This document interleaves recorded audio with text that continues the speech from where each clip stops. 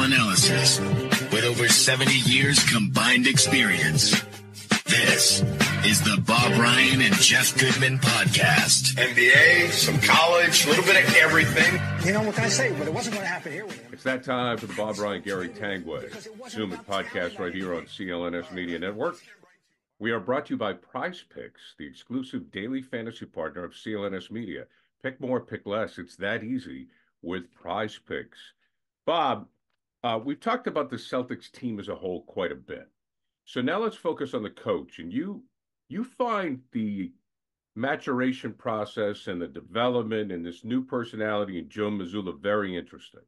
It's a coming out of that he's revealing himself to us with this utterances. Last year, uh, he was obviously just concentrating. I mean, you know, he was overwhelmed. You know that he must have no awakened, doubt. gone to bed with a thousand things in his head, and awakened with with two thousand things in his head, and and worried about this and worried about that, and and and and he was very uh, circumspect in his public utterances. He had nothing to say, really. You know, he just addressed the game. Uh, that he was asked the specific questions. He just did his job. It was due diligence and nothing more what we're seeing is a lot of stuff running around that guy's head, and and uh, he, he's it's coming out in in, in uh, you know in sequences. And uh, the most interesting one this week, I thought, was when he was among other things talking about why what the rebound issue is and why they've had some trouble occasionally with offensive rebounding and talking about this and that. But he was talking about the fact that he considers the fact that people are nitpicking this team whether it's about the end of the game plays, whether it's about offensive rebounding, whatever it is, as a compliment that that they're so good that people have to have to find reach go reach you know to find a criticism and that the and, and that the people care. You know he i mean he grew up in providence. He obviously understands the the boston market but he's just revealing himself that there's a, a, a you know it's a very thoughtful and very perceptive a 35 year old man. And, and but last, last year he was just a blank slate for us. You're right. And, and as you said, understandably so. And I think this year he knows his team and he knows who he has to be for his team. Because, in my opinion, the quality of a great coach is what they are to benefit the team. And I think that that can change year to year. You know, um, yes. He seems to be prepared to take any criticism for his guys. He's going to be very supportive of his guys. And he obviously is not going to panic at all. I mean, that's just, and now what happens behind closed doors, I don't know. We don't know, and and uh, uh the d- dynamics between he and Brad, we have no idea how that works. Uh, other than that, we know that Brad has faith in him. He wouldn't have named him a coach, and hand him the keys to the Ferrari, which he did and and and uh, um, so yeah, I'm sure Brad has some helpful thoughts for him, but but we don't know that it never comes up. Um, no, it's it's interesting, and and um, uh, I, the other thing I think you you alluded to, you you're you know hinting there. Uh, he knows he's got a damn good team, and and and the what the last thing he wants in the world he wants to do is mess it up. And uh, you know, as I said, I doubt seriously that any other team that that anyone wouldn't trade their roster for the Celtics roster and then see, okay, here's what I'm going to do with that roster. Uh, the, it's the deepest roster. I mean, we're they're seriously down to one with 10 useful players. That is not a norm in the NBA. You know, that, that you've got 10 useful players. And I'm counting Tillman as one of the, as the 10th. So, so, I mean, yeah, it, it's, it's an interesting thing. And, and, and, and is he also got to, I'm sure he's preparing himself. He knows damn right well that if they don't win, that, that the, the, you know, where the fingers are going to be pointed. And barring some unforeseen injury catastrophe that takes out. You know, well, yeah, I mean, Tatum's gonna. It's gonna be if they don't win the title, and in my opinion, if they lose to anyone but Denver, you know, yeah, okay. the criticism. I mean, if they lose to Denver in the finals, yeah, I'm good with that because we all know what Denver is. We all know who they have. Um, they have the best player in the league right now. Yes. So, um, if they lose to anyone but Denver in the finals, or if they're upset along the way in the playoffs, yeah, there's going to be hell to pay. They're going to take some oh, major heat. It's going to start. Oh, there will be, and you know, it's going to go to Brown, then it's going to go to the coach. Yeah, right. I think he knows this, but I'm just commenting. I'm just impressed. He's impressing me more and more with with you know what's that he's Which means Brad Stevens has really not made a bad move. no, I mean, no kidding. Uh, I mean, the, the the the the key moves and you know one that was good, very good that doesn't get discussed a lot. I, I'm not saying no one ever mentions it. Is bringing Horford back from right. Philly, and and and what a second, uh, you know, uh, breath of fresh air he's been. He's been terrific. Uh, he's everything you'd ask of him. He, he's absolutely giving you everything he's got, and and and and uh, he's being utilized perfectly well. So they, they, they don't play him back to back. They nurse him, and uh, and but he's he's he's contributed mightily. Here's as we continue to put Joe Mazzulla and the Celtics under the strongest microscope available. Um, the challenge right now, as we we've talked about, and this is a hard thing, man. It's I don't I don't envy him.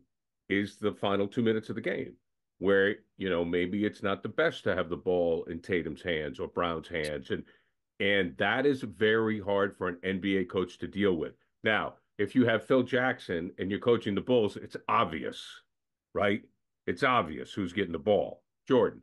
If you have the Lakers when Jackson was there, it was Kobe, or if it was Pat Riley. You know, ba- basically in the '80s, Magic decided who got the ball, right? Yeah. Same thing yeah. with Larry. I mean, with Larry, like Larry had the ball in his hands in the final two minutes. He was either going to shoot it or he decided where the ball was going. No, sure. You know, Mazzulla, he that's the that's the tough one.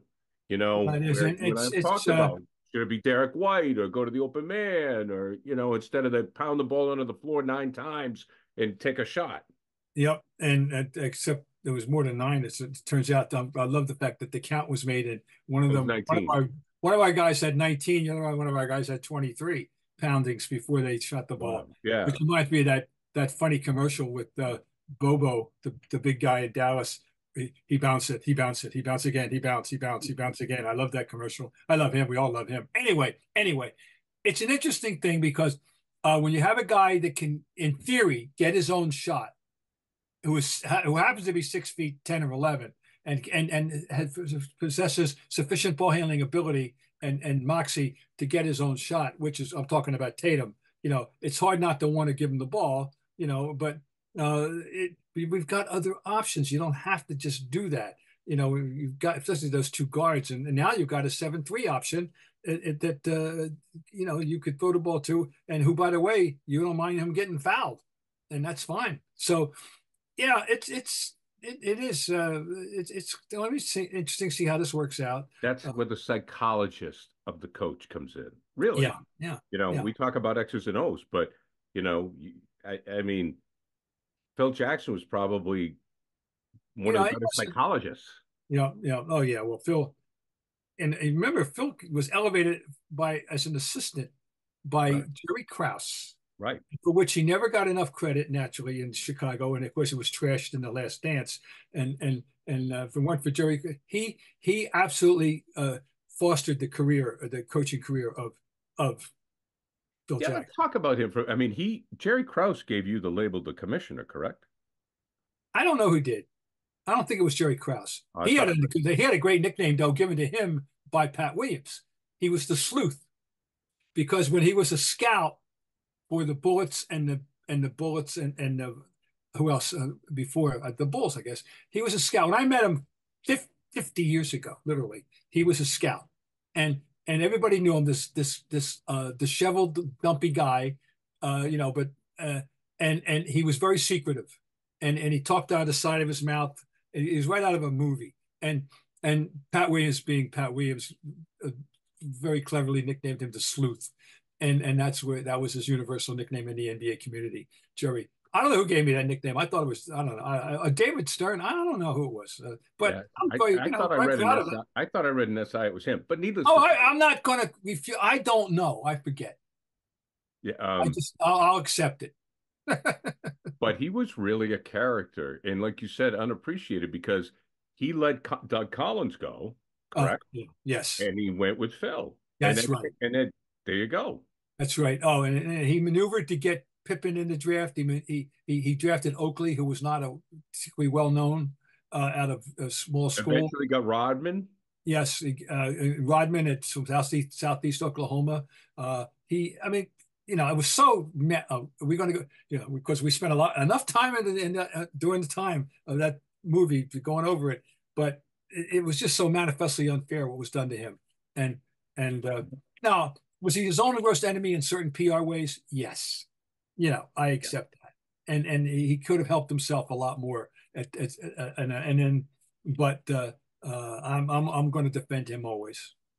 Well, right now the sleuth is uh, Brad Stevens, as far as I'm concerned, mm-hmm. because this guy has been tremendous. Yeah. Uh, and and very under the radar and very off camera. oh no, you don't. No. And just and remember the thought with Brad was going to be, oh, he'll do it for a year, then he'll go back to college. You know, oh yeah, they're, they're, still lighting candles in Bloomington, Indiana. Believe me, hoping that he's going to, you know. I don't. Yeah, I don't know. Oh, but, I I don't either. But I'm saying I know they are. You know that that's their fantasy is that he's going to that he's going to go back to the home state and take over this IU. But um, yeah, I I'm not counting on that. Don't worry. Yeah, I mean, Bob, you've seen it. Why would anybody in I don't know if it's if it's been done, but why would anybody leave the comfortable chair of a successful GM position yeah. to go back to 82 games? Particularly, oh, I know, and and and, uh, and as far as going to college would be concerned, entering into that new set, the cesspool that is now oh, collegiate right. basketball and collegiate football because of the NIL and the portal and the madness that goes on. Who I can't imagine why anybody would want to get involved in that. I mean it seriously. I well, I mean, look, Jay Bilas. Bilas is a guy I know that you know and you're a fan of. I mean, he's on TV because of it. Yeah.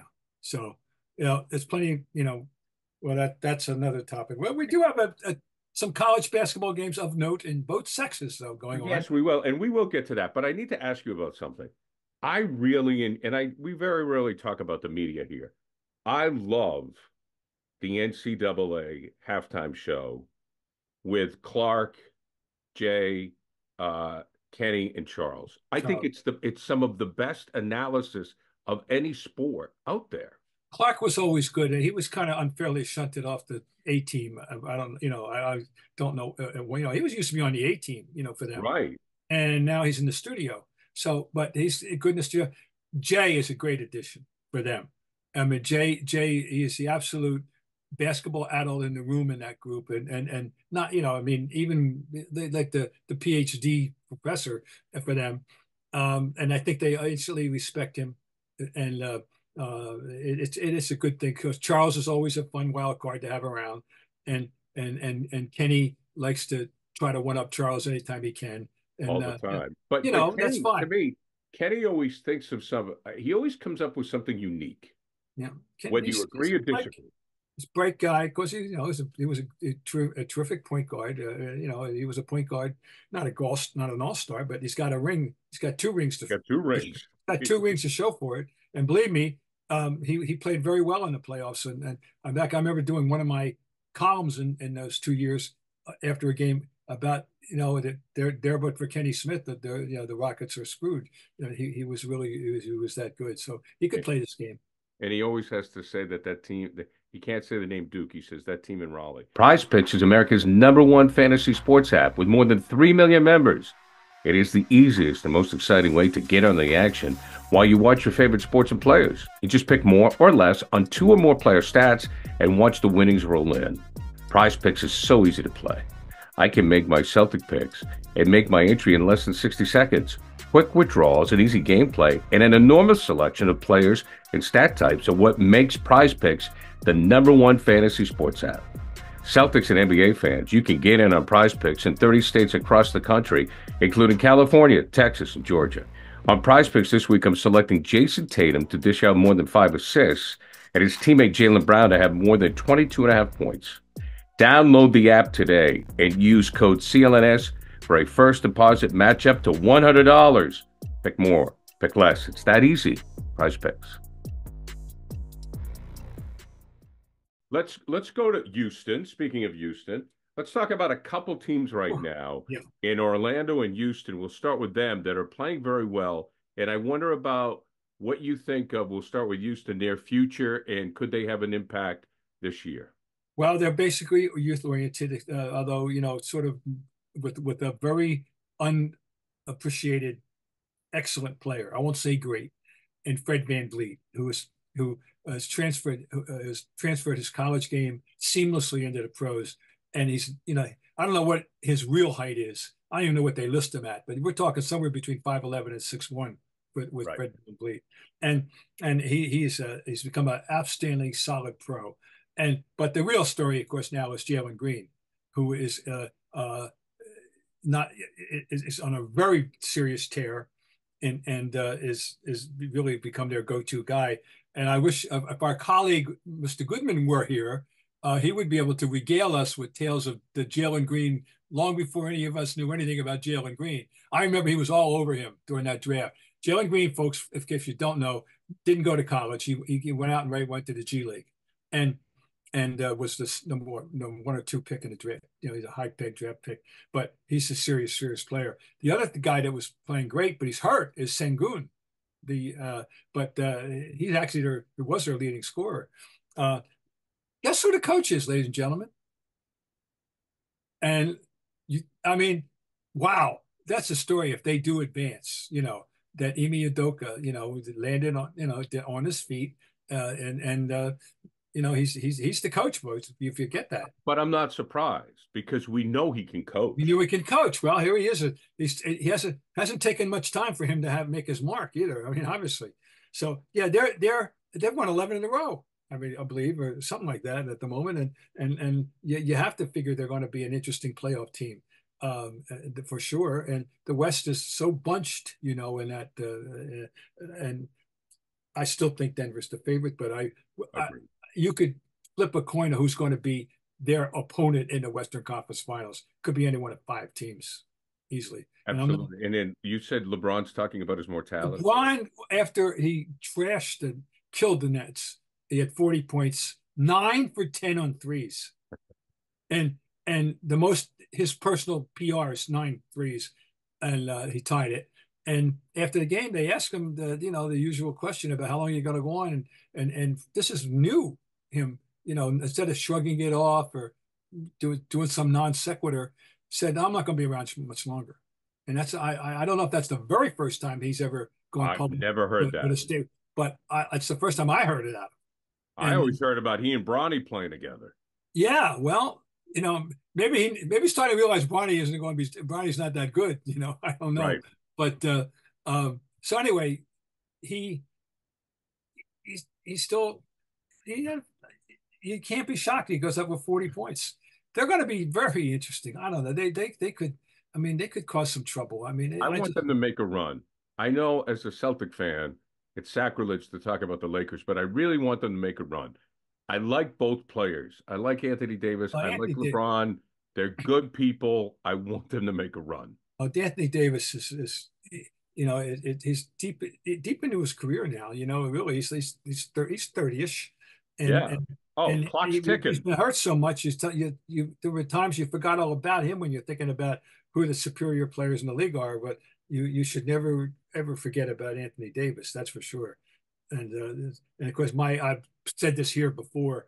The revelation for me still continues to be Austin Reaves, simply because I just totally had paid zero attention to him until last year's playoffs. But ever since last year's playoffs, this guy's become a really quality player. Uh, Bob, we talked about uh, like Houston could cause some problems, the Lakers could cause some problems. I mean, is while we feel the Celtics are just going to the finals, is there one team in the East who could be an issue? Uh, well, you know, at, at, one point we thought it was Cleveland was the chic team for about a month and a half, you right. know, and then uh, they, they've gone, you know, they uh, and they, of course they didn't have Mitchell, and now Mitchell's back. We'll see if they can reassemble themselves. You know, go ahead. Uh, the Knicks had that great January. I'm telling you that, that they have some good personnel, and and if, but once again, uh, Mitchell Robertson just came back and immediately got hurt, sprained his ankle last night.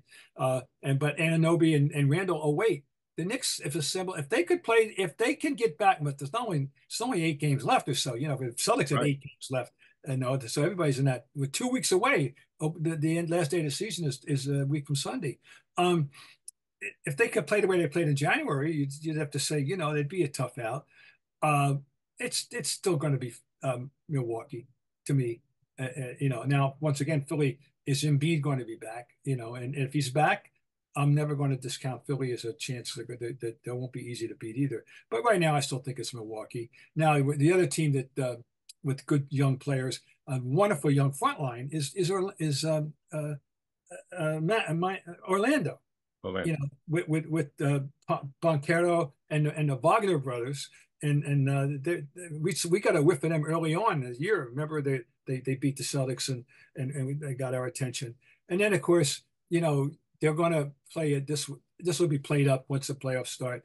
You know, Miami. You know, the Jimmy Butler, the playoff guy, the whole thing with with Miami. You know, we'll see. And Bam, and and Bam is a damn good player, by the way. And and uh, you know, and they know they've been there before, as we well know. Nobody knows more poignantly than the Celtics what the what the Heat can do in the playoffs uh, right now. So, um, I, I would keep my eye on them. But once again, Celtics, it's quite frankly, it's theirs to win and lose. They play the game the right way, the way they're capable of playing.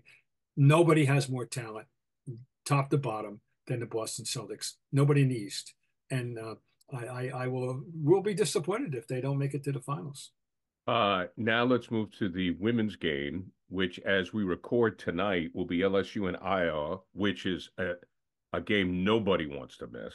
No, no. UConn and USC, uh, and the other one this evening. Your thoughts overall on that? Uh, this is, uh, you know, the fact that there's never been more attention focused on the women, is, and, and rightfully so. Um, but this rematch is a, is a women's, you know, promoters match made oh heaven uh, you know, and all the more so now because Kim Mulkey uh, is in the news for the the whole, which she stirred up the the hornet's nest before it even happened. I don't know how much attention would have been paid to this Washington Post story, which has finally surfaced, if she hadn't have you know fired that preemptive strike last week, denouncing it before she even saw it, and. Um, but now it's out there, so people can find it and read it and for themselves. It's a lengthy it's like a New Yorker level length. You keep thinking, when's it going to end? You know, but it, I'm telling you, I'm serious. But um, it it's not flattering, but it's not vilifying either. It's it's factual. She has said and done all these things, all right, and and she has rubbed a lot of people uh, uh the wrong way, even while she impresses them with her coaching ability, which is unquestioned. She's a great coach. She was a great player. She's a great one of the pivotal figures in the history of women's college basketball. It's Kim Mulkey. There's no question. But the timing is very interesting, and she's clearly, you know, she thinks. The, I don't know what she's implying there. The Washington Post was trying to see that they lose. You know, she's saying the timing was very suspicious and all this and that. All right. Anyway, anyway, back to the basketball. Uh, we've got this little individual uh, inherent rivalry between Angel Reese and, and Caitlin. You know, with the you know the the the, the hand over the eyes yeah. thing and uh, it's going to be a, a, a, lot. Of, it's got. You'd love to be there. I I can imagine the tension is going to be in that building, and and and uh, it's going to be a lot of fun to watch. Now, technically speaking, Iowa is really not playing all that well, and they've survived uh, despite uh, a little. They struggled for a while against Holy Cross, and then the last game, amazingly, they win, and only Caitlin hit a three. No other right. player hit a three. Now that's I, I don't think that happens again. They're not going to beat LSU. No, they're not going to win. They're not going to win. I'm, you know, I'm, they, I'm, thinking LSU is going to win this game anyway. But hey, Caitlin could come up with 45. That's a fact. You don't know. Uh, so it's going to be worth it. Now the other game, UConn is unlike any. This is a, a march uh, to the you know Final Four. Unlike any that they've ever had, or maybe nobody's ever had. They are suiting up eight players due to the, the proliferation of injury and playing six as a rule. And Paige Bueckers is back. So if you know, and and and she is a truly great player, and so they they have an absolute puncher's chance any game they play as long as Paige Bueckers is in that lineup. Uh, and USC is giving us Juju Watkins. You know, so we've got on there. How lucky for them, the, the women's game the absolute four marquee players of marquee players that they have are all on display tonight. Caitlin Clark, Angel Reese, Paige Bueckers, and Juju Watkins are all on display tonight. I mean, they couldn't pay uh, for that kind of. Uh, oh no, it's great.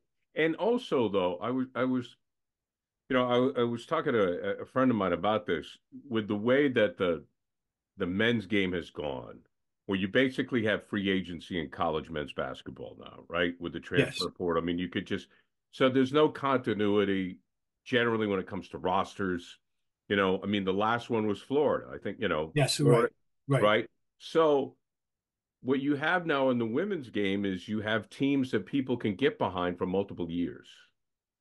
And that works for mm-hmm. fans. It may not last either, by the way. You know, that you don't think you know that there's no reason why it can't th- the- their game can't evolve into that uh, on their level. You know, with with people running all over the place the way they do in the men's Well, game. but right now- but, but also though, I mean, and maybe this will change. You know, I I don't, you know, with with the men's game, a lot of guys leave after one year because they want to go for the money. Yeah. But now, like for example, with Caitlin Clark, I mean, she can. Some players can make more money playing college. Well, she is. Yeah, no question. What a top salary in WNBA is like two hundred forty thousand. Yeah, I mean, she's a millionaire. We know this Right. already. right, And- and- right. With So- endorsements. So why leave? Yeah. So no, uh, the women's game. That is the fact that that staying in is more lucrative than coming out. Right. Uh, and this is why Angel Reese is hesitating. She could come out, but she's not making any uh, uh, plan to do so. And I mean, we know publicly she hasn't she hasn't committed to it yet. She could she could come out, but you know, the, I think people are thinking she might stay in. And it's oh yeah, it's, it's good. But once again, just, I just to echo something I said last time. You know, the idea that we're having this conversation and that these conversations are taking place all over America about women's basketball is is is is absolutely uh, you know impressive and you know that how far this game has come and and in a short period of time you know that it's achieved this this level of, of, of notoriety that Uh, that we wouldn't we wouldn't be having this discussion at this level two years ago let alone five or ten Right. It's all good stuff. Bob, we'll talk to you again in the middle of the week before you Yes, head sir. off to Phoenix. that's right off to Phoenix and my 30 whatever final four All right, Bob, Bob Ryan, Gary Tanguay brought to you by Prize Picks, the exclusive daily fantasy partner of CLNS Media. Pick more, pick less. It's that easy with Prize Picks. Okay, Bob, talk to you later.